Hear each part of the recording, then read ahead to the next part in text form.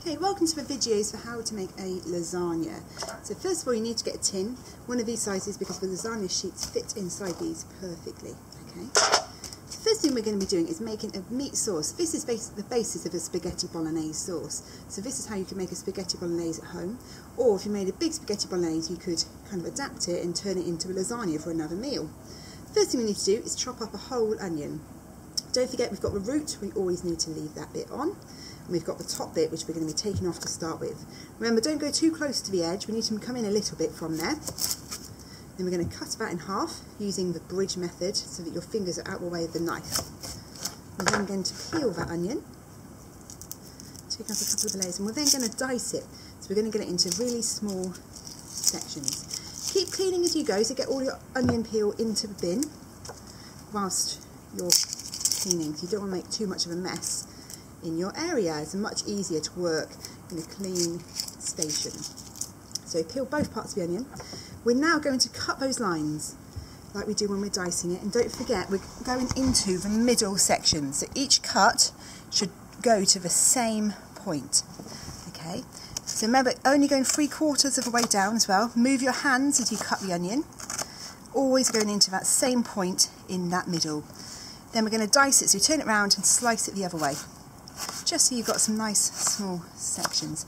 Again, only go down about three quarters of the way down. If you go any further, you've got a high chance of slipping. So I'll show you once more with this half. So going down, cutting into that middle point all the time. Moving your fingers round so your fingers don't slip. Then you can see it's held together really well because I haven't cut too far down. I'm going to cross the other way, It's a really nice diced part of the onion. Now we're going to also chop a mushroom. Move your onion to the side of the board. with the mushroom, we're going to leave a stalk on, cut it in half and then slice it up. So cut again, make sure your fingers are out of the way, hold it together and then just slice it into little pieces. Okay. You're going to do two mushrooms. I've already got one of mine in the pan. Okay, so that's your vegetables prep. We're now going to get this into the saucepan with your meat and we're going to start browning that off. We're going to get our onion and mushrooms into there. Oh, careful not to flip them out. We don't need to add any oil. If you're using Quorn, you do need to use a little bit of oil so it doesn't stick. But the beef mince has got lots, it's not got lots of fat, but it has got a little bit of fat in it already.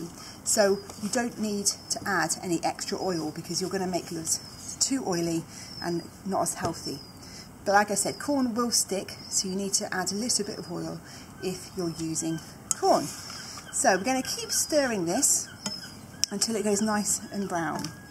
Whilst you're waiting for that to kind of start cooking, you can prepare your other ingredients. So we're going to be doing a white sauce, so you can weigh out 15 grams of butter, one tablespoon of flour and 175 mils of milk and put that into a saucepan ready whilst you're waiting for this to cook.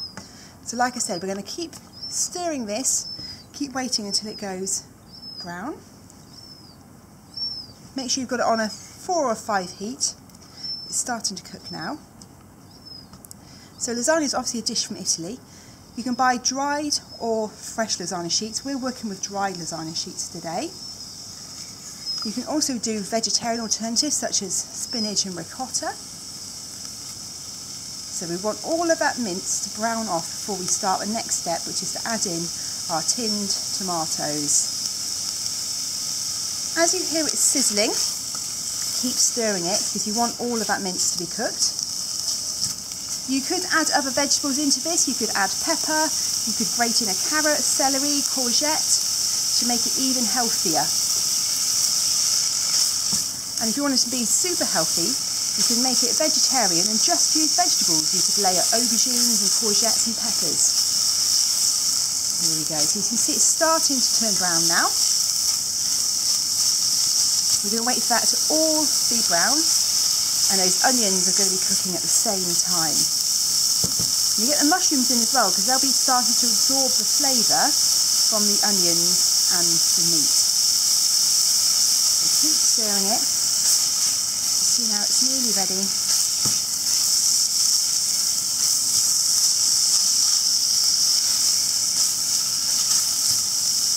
The next stage is we're going to add a pinch of basil. So just pour a little bit of basil into your hand and add that in.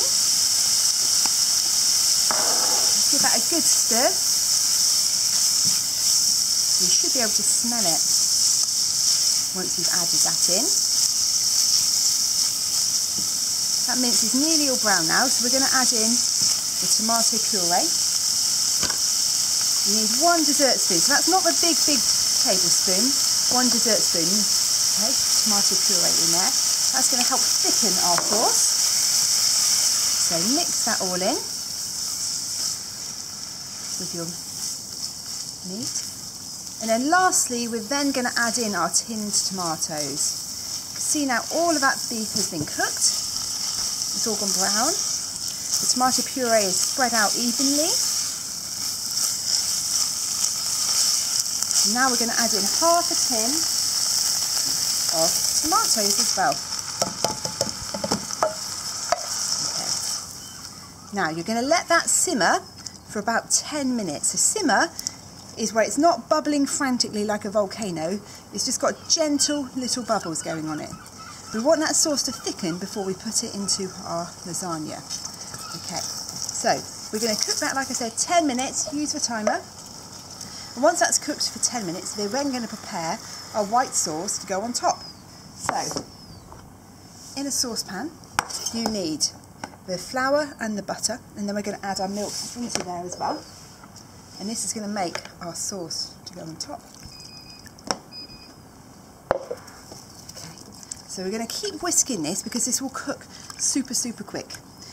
The butter will melt and the flour is going to, it's got something called starch in it and that's going to start absorbing some of the liquid. Now we want to bring it up to boiling but we want to make sure there's no lumps in there so we're going to keep whisking it. And it will go really thick quite quickly so we need to not walk away from this, we need to keep stirring it the whole time. And what's happening is there's a bit of food science going on. The starch is starting to swell up and is going to be absorbing that liquid. Okay. So this is the white sauce that we're going to be putting on top. This is a similar sauce to what you would do if you were doing a macaroni cheese, but you would put cheese inside the sauce as well. We're just going to sprinkle our cheese on top. Okay. So you can see the butter's nearly all melting. It's nearly getting up to boiling point, which means it must nearly be ready. So keep stirring it because it will suddenly go thick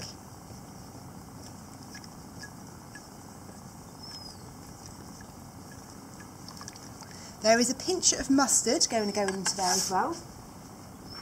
So mustard powder is going to add a little bit of flavour into there. So you just have a little tiny pinch. That's going to go into there as well. That's going to add a bit of flavour to your sauce. You can see now it's really starting to thicken. But we're going to keep going until it's boiling. We need it to boil just for a minute or two to make sure that starch is fully kind of cooked. Otherwise your sauce can taste a bit floury. So we're going to keep mixing it. You can see now it's really gone a lot thicker.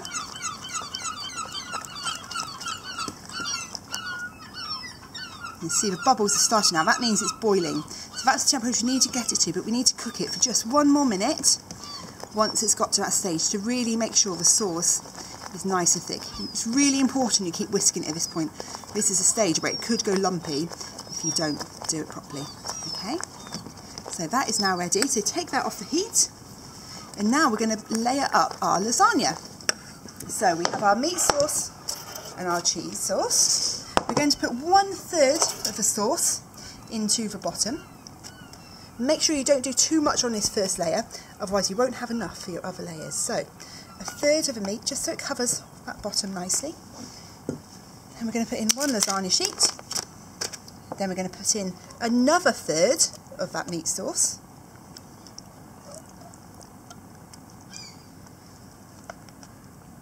Okay, another lasagna sheet, push it down.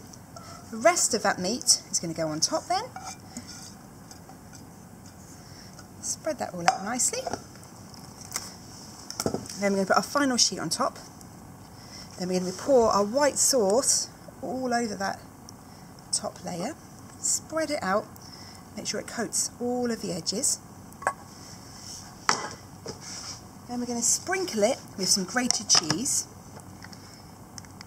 Just going to add a lovely flavour and a bit of texture, crunchy texture on top. Make sure we spread it all the way out. And then we're going to put this on a baking tray. We're going to cook that in the oven for about 20 to 25 minutes. You need to check the lasagna sheets are cooked. At the moment they're dry, they'll just break and they're not cooked. So we're going to put that on the baking tray, team up two people onto one. Make sure you've put your name in a permanent marker, marker along the side of your tray so you know whose lasagna is whose. And when it's done, it's going to come out the oven. It's going to be really golden on top. That cheese will have started to cook. And you need to check with a knife that your lasagna sheet's cooked. So you push your knife all the way down and it should be really smooth. You'll know if it's not cooked because you can't get through that pasta.